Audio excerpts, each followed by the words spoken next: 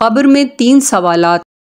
व अन बराबन आजिब रदी अल्लाह अनहु अर रसूल सल्लल्लाहु अलैहि वसल्लम यातीही मलकानी फ़युजलिसानिही फ़यक़ूलानि लहू मर रब्बुका फ़यक़ूल रब्बी अल्लाह फ़यक़ूलानि लहू मा दीनुका फ़यक़ूल दीनी इस्लाम फ़यक़ूलानि मा हाज़र रजुलु मा हाज़र रजुलु लज़ी बोइस फ़ीकुम फ़यक़ूल हुआ रसूलुल्लाह सल्लल्लाहु वसल्लम फ़यक़ूलानि लहू मा युदरीका फ़यक़ूल क़रातु किताब अल्लाह फ़आमनतु बिही व सद्दक़तु फ़यक़ूलानि मर रब्बुका फ़यक़ूल हा हा हा हा ला अदरी फ़यक़ूलानि लहू मा दीनुका फ़यक़ूल हा हा हा हा ला अदरी फ़यक़ूलानि मा हाज़र रजुलुल्लज़ी बोइस फ़ीकुम अल मिशकात पच्चीस। तर्जुमा, हज़रत बरा बिन आजिब रज़ी अल्लाह अनहों से रिवायत है कि हजूर सल्लल्लाहु अलैहि वसल्लम ने फरमाया, उस आदमी के पास दो फरिश्ते आते हैं, उसको कब्र में बिठाते हैं, फिर वो दोनों फरिश्ते उससे सवाल करते हैं, तेरा रब कौन है? अगर तो वो नेक आदमी होता है तो कहता है कि मेरा रब अल्लाह है। फिर वो दोनों फरिश्ते उस नेक आदमी से सवाल करते हैं कि तेरा दीन क्या है? वो नेक आदमी जवाब देता है कि मेरा दीन इस्लाम है। फिर वो फरिश्ते उससे सवाल करते हैं कि उस आदमी के बारे में तुम्हारा क्या ख्याल है, जो तुम में भेजा गया था। वो आदमी कहता है कि वो अल्लाह के रसूल हैं। फिर वो फरिश्ते उससे सवाल करते हैं कि तुझे कैसे मालूम हुआ? वो आदमी कहता है कि मैंने अल्लाह की किताब पढ़ी थी, उस पर मैंने यकीन किया था और मैंने तस्दीक की थी।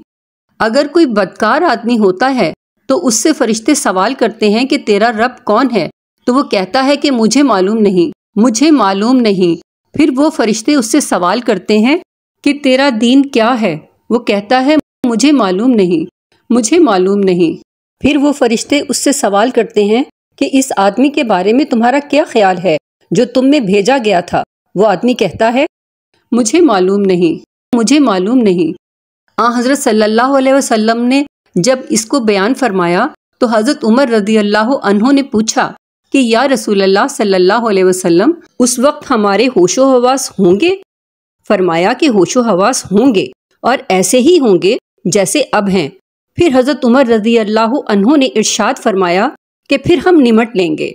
इन ये तो हज़रत उमर रज़ी अल्लाह का हौसला था और कह सकते हैं कि हम निमट लेंगे।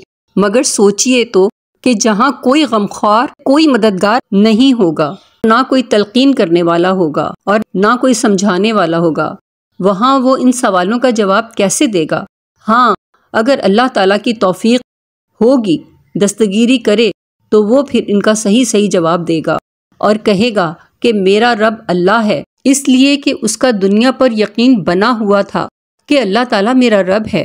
वहाँ झूठ तो चलेगा नहीं, सच पर वहाँ नजात होगी। झूठ पर नजात नहीं होगी। तो जो लोग सही सही जवाब देते हैं तो हुक्म होता है कि उनके लिए जन्नत का लिबास लाओ, जन्नत का बिस्तर बिछाओ। और हदीस में फरमाया कि कब्र इसके लिए इतनी वसी कर दी जाती है, जहाँ तक उसकी नज़र पहुँचती है। और दूसरा आदमी, जिसने दुनिया में ईमान यकीन नहीं बनाया था, वो हर सवाल के जवाब में कहता है, हा हा, ला अदरी, मुझे नहीं मालूम, मुझे नहीं मालूम। इन व इन राजीऊन। Thanks for your watching.